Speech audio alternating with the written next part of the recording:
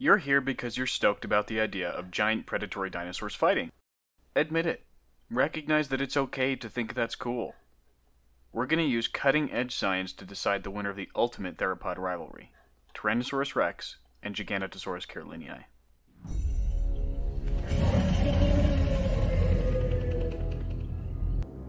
Our two dinosaurian gladiators lived very different lives. One was the final product of a lineage of medium sized theropods that might have come over from Asia, growing to twice the mass of its next largest relative and becoming the most famous outlier in theropod history. The other was a big predator in a family of big predators, with a sauropod hunting pedigree and the firepower to match.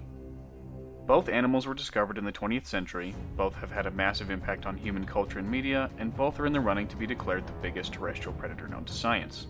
But even if the eternal arms race of mass estimation techniques does determine that one is larger than the other, muscle mass isn't everything when it comes to a fight. Ecology, physiology, terrain, and behavior are all crucial elements in a life or death battle. A matchup is most exciting when the competitors are at their best, so let's make our dinosaur rivals healthy, full sized individuals in their prime. This is peak theropod performance, all stats maxed out to the biggest we've discovered for each species. And yes, we are allowing fragmentary specimens, since Giganotosaurus is only known from a decently complete holotype and a partial dentary, while Tyrannosaurus has over a dozen fully grown adults to its name.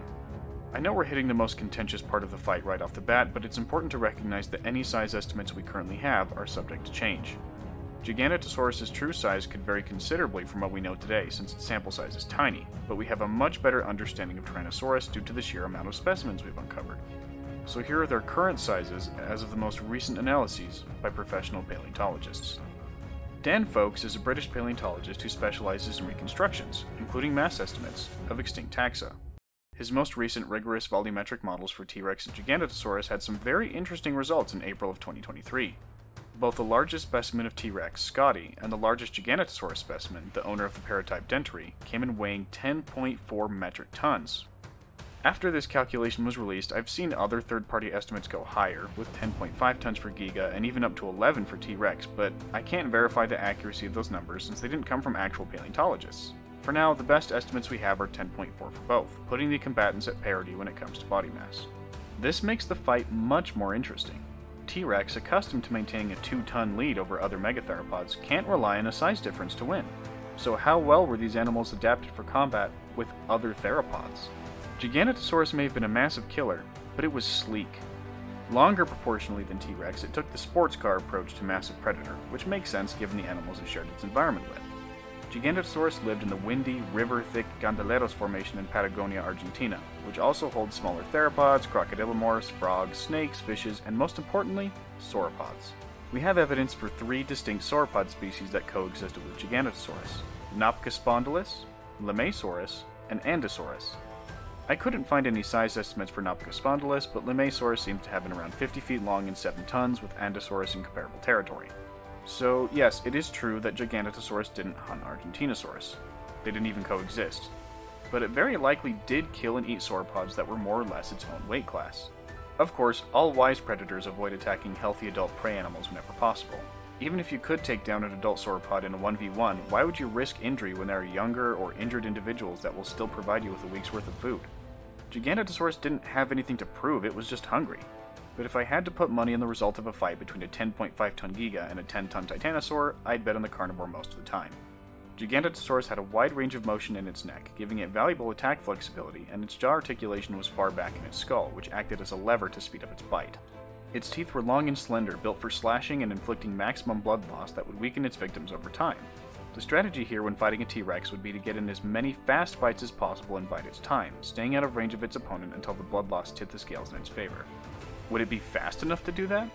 I always see speed estimates for Giga pop up saying that it could sprint at a dizzying 31 miles per hour. A study done in 2017 indicated that giant long-limbed theropods like the big tyrannosaurs and carcharodontosaurs wouldn't have been able to effectively run due to biomechanical stresses on their leg bones being too intense.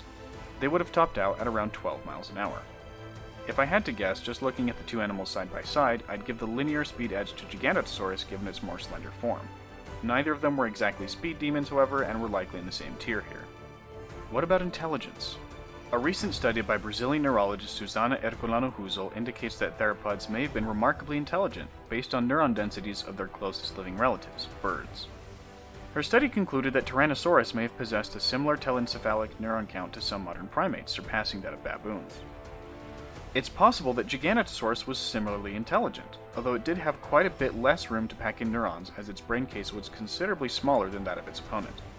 I love the idea of two problem solving, aware, predatory giants staking each other out and using skills that they would normally reserve for hunting. Now let's take a look at Tyrannosaurus specifically.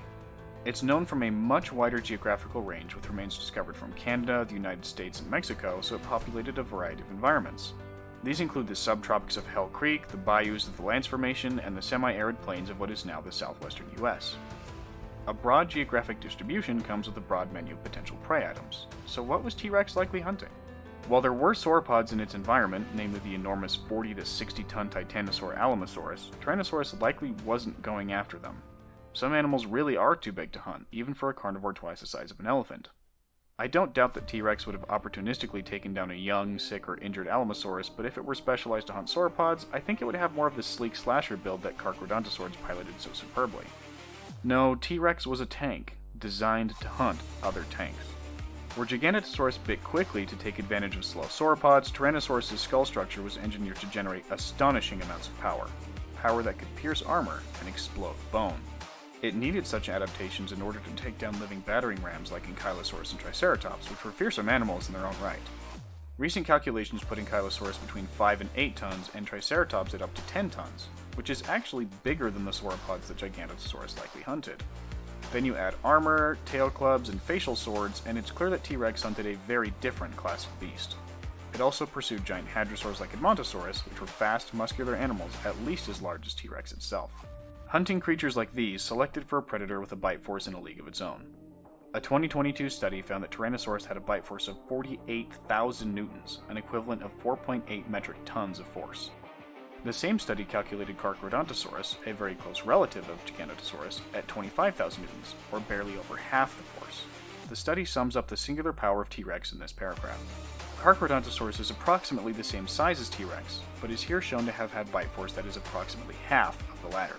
Carcharodontosaurus is typical in build and skull proportion for a theropod dinosaur, so the fact that its bite force is only half of that of T-Rex is more likely a reflection of just how unique T-Rex may have been compared to other theropods of similar sizes.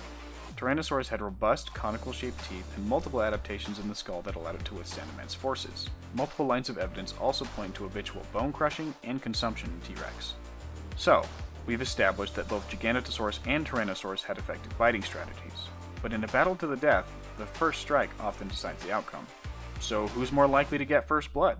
Giganotosaurus does have the more slender body plan, which may be telling, but the answer is, more likely than not, Tyrannosaurus. A 2019 study on theropod agility tells us why.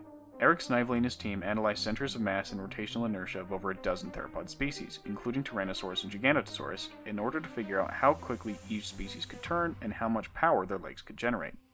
Tyrannosaurs massively outperformed other large theropods in terms of agility and explosive power, to the point where Tyrannosaurus could turn twice as quickly as an Allosaur of equivalent mass.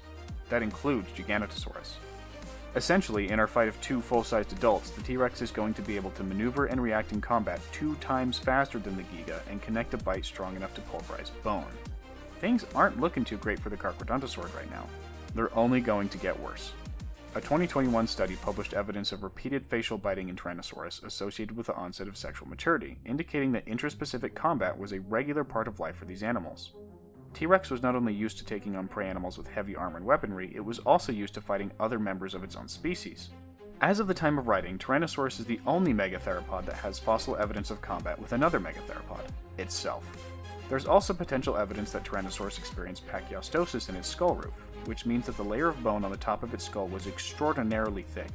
This isn't something that's been studied in depth, but paleontologist Jack Horner noted the phenomenon in a Tyrannosaurus frontal in a recent social media post. If this turns out to be accurate, it may indicate ramming capabilities in T Rex that would add another weapon to its already formidable arsenal. The evidence has been weighed, the combatants have been analyzed, and in this Battle of Kings, Tyrannosaurus rex would be the victor, even if its opponent matches its size. Giganotosaurus was a powerful predator, but it's outmatched in nearly every category here. T-Rex's bite force is twice as strong, T-Rex is twice as agile, and T-Rex was probably smarter. Heck, its senses are even among the best in the animal kingdom, although that likely isn't combat applicable.